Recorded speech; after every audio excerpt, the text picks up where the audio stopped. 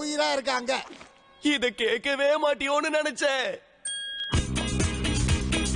என்றும் சிறந்தது உருளை தான் மக்களுக்கு என்றும் பிடித்ததுதான்.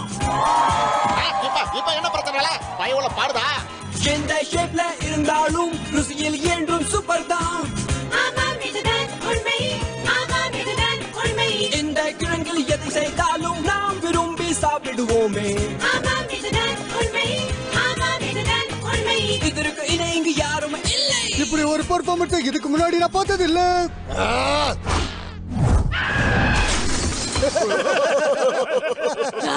என்னால தான்